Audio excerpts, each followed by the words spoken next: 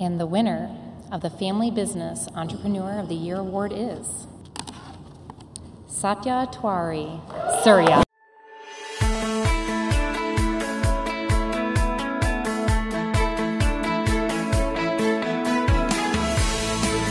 Good evening, everyone. So I want to, I want to thank ENY for recognizing all of entrepreneurs here tonight. As you can see, I wasn't ready for this, so I, have, I don't have any prepared speech. But first of all, I want to thank my uh, beautiful wife. She's here, and uh, I could not have accomplished a lot of stuff that I have done without her support. And she was a great friend before we got married, so I, I, a big part of my success is her hard work and motivation. I also, as a family business, I want to recognize my parents. I would not be the person I am today if it, if it wasn't of all the values and infrastructure and, and platform they have given me.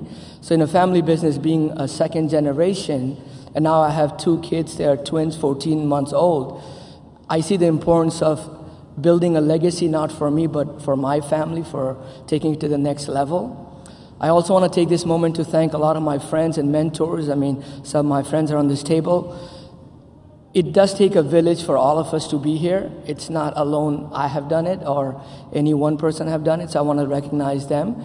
And on behalf of our company uh, employees, we have 500 employees in, uh, in, in US and thousands in India and thousands of partners all over the world. And I think as one of the gentlemen earlier said, when I joined this business, it was not, I wasn't sure what I was getting into. But today I can see that the impact that we entrepreneurs make is beyond just balance sheets, beyond just income statements. We're enriching so many lives.